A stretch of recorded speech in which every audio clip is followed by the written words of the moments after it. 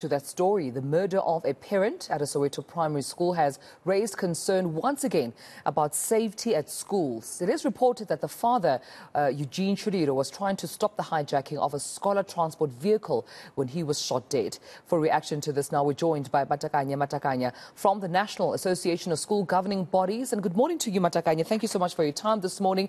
Uh, you know, I don't even know where to begin. I mean, such a tragic incident happening outside where vulnerable children um, go to school. Parents, you know, you know, rely on the safety of their children in the, you know, infrastructure and the surroundings of the school. But a tragic incident like this happens.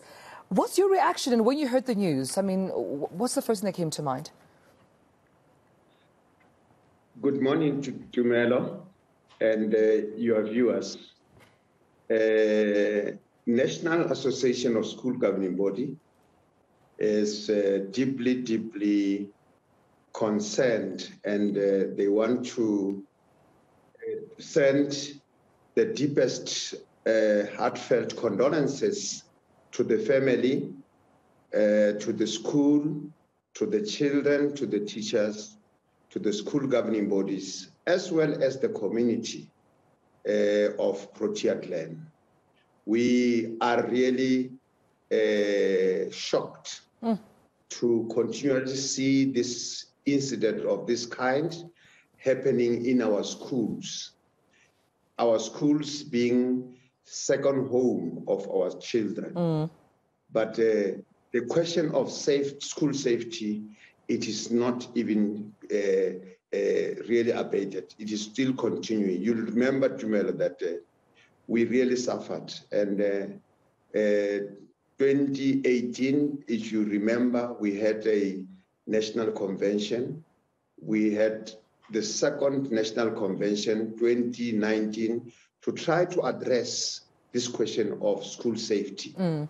But it appears really it is not coming to a stop any sooner and nearer. Yeah. I mean, we, we, we now, saw uh, the MEC, if I may just jump in there, Mr. Matakanya, the MEC of Education, uh, Matome Chiloane, saying it's time then for the police to be deployed.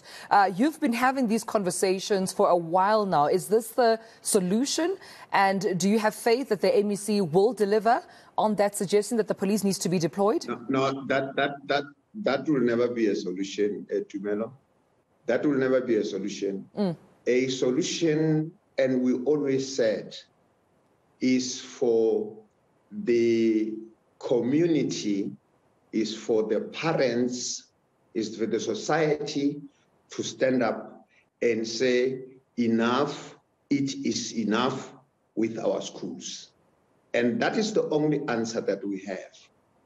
Once the community stands up and uh, and and and and and and and and make that clarion call that it is enough, mm. then they know this this uh, criminals. They know where these criminals are. They know uh, whose children are these criminals. They know where they are. So it will be easily helping the police to apprehend these uh, criminals you know? Yeah. Uh, they will do what they do quickly in the school but i'm telling you within five minutes ten minutes they will be arrested or they will be accosted by the community itself. So we think that is the only solution. So and another solution is that now i think there must also be a budget put aside to in the short term uh, organize community policing forums all the schools must be provided with policing, uh, community policing forums mm. in the short term. We know that the department may say, well, they don't have a, a budget. But within uh, these children of the president, President uh, Youth uh, Employment Initiative, I think there must just be a number of children that are referred to as right. school safety uh, cadres Let me just uh, uh, ask you this. You mentioned earlier, Mr. Matakanya, that the community needs to come together. The community needs to say enough is enough and they need to assist the police. What then happens in this incident where Eugene Chiriro was shot at, killed, trying to be that uh, responsible community member protecting young, vulnerable, innocent children. And you know how these criminals are these days very brazen, killing in full sight of children. His seven year old son witnessed the shooting of his father. What then happens when even their own lives are at risk? Then, how do we also protect community members who, in turn, are trying to protect the schools? You see, there's this phrase, Jumelo, that says, unity is strength. If we can explore that phrase, that what do we mean exactly when we say unity is strength? I don't think uh, the criminal can at one stage just kill all uh, uh, community members. You see, there's still problem with the communities. Our communities still have the phrase that says, everyone for himself or everyone for herself and God for us all. And that is not unity.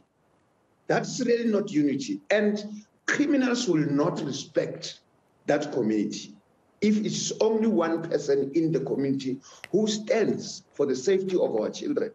It must be community community, not only one person. And that's why we're saying mm. Uh, communities, if you see, you value education, right? Stand up, protect schools. Because the truth of the matter is that now schools attract criminals. Right. There are tools of trade in schools, and these criminals come just and collect all those tools of trade. All right. Then our children remain without tools of trade. We have to now, leave it there. It is community that can stop. It these things go, and now it is really topical because a person has been killed in the school. And we have to leave it there. That's a very good point that you raised there. Hopefully, we can come to a resolution so that the safety of children can definitely be strengthened uh, out in schools. Mr. Matakanya, Matakanya, thank you so much for making time for us from the National Association of School Governing Bodies. I appreciate your time this morning.